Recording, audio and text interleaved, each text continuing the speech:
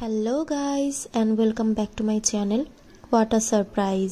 আমি ভাবতেও পারিনি যে কেউ কোনো দিন আমাকে এভাবে সারপ্রাইজ দেবে। সত্যি বলছি this is a big gift for me thank you so much পৌলমিদি and thank you everyone